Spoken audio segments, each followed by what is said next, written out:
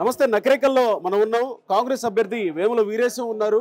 దాదాపు ఇప్పుడే ఒక యాభై మంది టిఆర్ఎస్ నుంచి యువకులు వేముల వీరేశం నాయకత్వంలో పనిచేస్తామని చెప్పి వాళ్ళు నేరుగా వచ్చి ఆయన నాయకత్వంలో ఇక్కడ జాయిన్ అయ్యారు. ముందుగా వాళ్ళందరినీ అడుగుదాం అసలు వాళ్ళు ఎందుకు వేముల వీరేశం అభ్యర్థిగా ఉంటే కాంగ్రెస్ పార్టీలో జాయిన్ అయ్యారు. ఇప్పుడే కడువాలు వేసుకున్నారు. రండి మీరే కదా నాయకుడిగా వచ్చారు.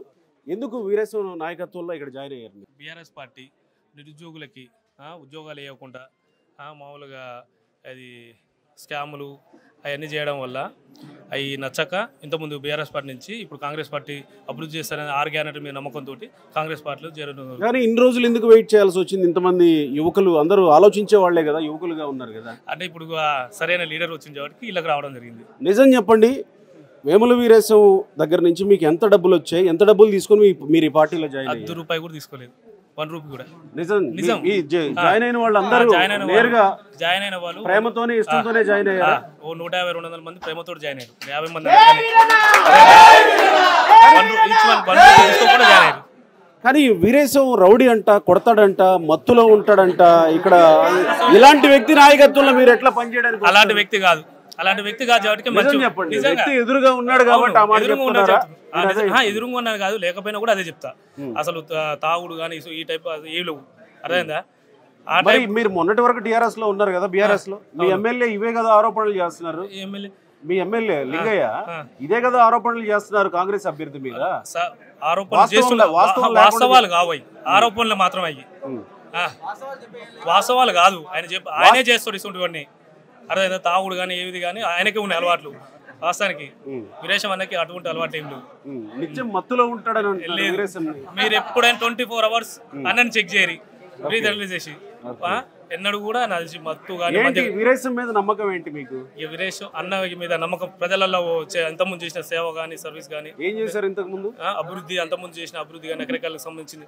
కరోనా టైంలో కరోనా టైంలో పేదవాళ్ళని ఆడుకోలు మళ్ళీ ఒక ఉద్దీపన అనే దాని మీద ఉద్దీపన అనే దాని మీద చాలా మంది పిల్లలకి చదువు చదువు నేర్పించడం అటువంటి సొంత డబ్బులతోటి ఇవన్నీ చేయడం వల్ల అన్న కూడా కాంగ్రెస్ పార్టీ రావడంతో మాకు కూడా నచ్చి మేము సో వచ్చేస్తున్నాం మిమ్మల్ని ఎవరు బెదిరించలేదు ఇది బెదిరించుడు అంటే అధికార పార్టీ వాళ్ళు బెదిరిస్తారు. ప్రతిపక్ష పార్టీ వాళ్ళు బెదిరిస్తారా?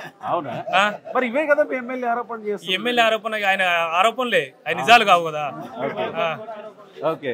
సో మీరు ఏ హోప్ తోటి వీరేశంతో జాయిన్ అయ్యారు ఈ రోజు అని అంటే భవిష్యత్తు మీద ఎలాంటి హోప్ ఉంది మీకు వీరేశం మీద?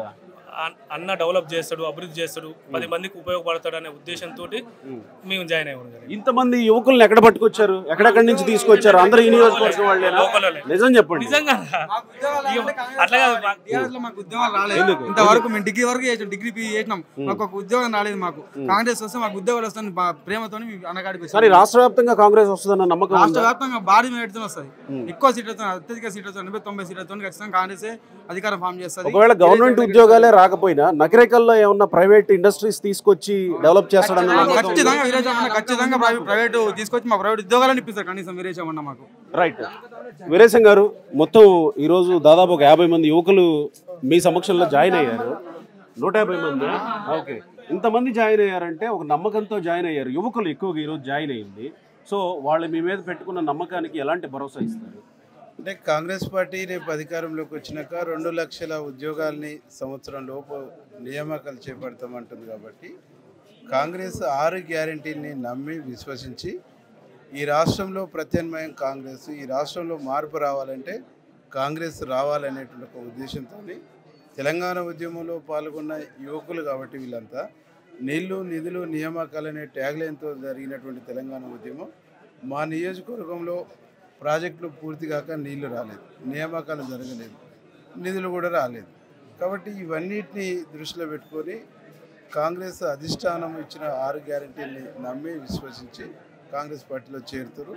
కాంగ్రెస్ పార్టీలో చేరిన ప్రతి వ్యక్తికి మేము తోడ్పాటిస్తూ వాళ్ళను మనోస్థైర్యాన్ని కల్పిస్తూ వాళ్ళని కాపాడుకుంటాం. అంటే యువకులు ప్రత్యేకంగా మీ మీద నమ్మకం పెట్టుకున్నారు? ఒకటి గవర్నమెంట్ ఉద్యోగాలు వస్తాయా రావా అని అంటే వచ్చినాక చాలా తక్కువ మందికి వచ్చే అవకాశం ఉంది. ఈ నియోజకవర్గంలో ప్రత్యేకంగా ఏమన్నా ఒక విజన్ పెట్టుకుని పనిచేస్తున్నారా యూత్ కోసం మీరు? అంటే మేము మొన్న ప్రీ కోచింగ్ నడపటం కానీ జాబ్ మేళాలు నిర్వహించడం కానీ ఆ తర్వాత అంతకుముందు ఉద్దీపన ఎడ్యుకేషన్ సొసైటీ ద్వారా మేము ఎడ్యుకేషన్లో యాక్టివిటీ ఫైవ్ ఇయర్స్ చేయటం కానీ ఇవన్నీ కూడా వాళ్ళు కూడా గమనించారు దీనికి తోడు నా వెనకాల ఒక బలమైనటువంటి పార్టీ ఒక జాతీయ పార్టీ అనేటువంటి రావటం కూడా వాళ్ళకు విశ్వాసం కల్పించి రావటం జరిగింది. రైట్